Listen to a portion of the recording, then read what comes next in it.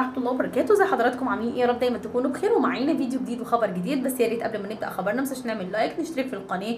وقبل ده كله نصلي على سيدنا محمد. اللهم صل على سيدنا محمد. خبرنا النهارده بيتكلم عن أحدث ظهور للجميلة سمارة يحيى وتألقها المبدع ما شاء الله عليها على طول أمورة وتعليقات تنهال عليها إن هي جميلة ومش بس من أهل الجزائر ولكن كمان من المصريين.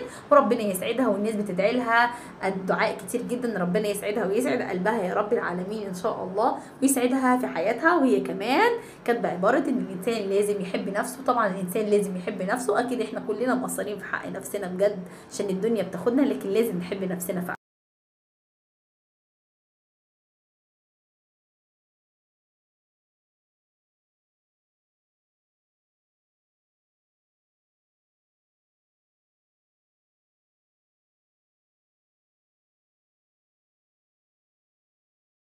يوفقها ويسعدها ويسعد حضراتكم أجمعين يا رب العالمين ويسعدنا جميعا يا رب ويوفقنا للصالح إن شاء الله وكل واحد يترك للآخر دعوة حلوة وكمان للثمر أشوفكم على خير في فيديو جديد وخبر جديد والسلام عليكم ورحمة الله.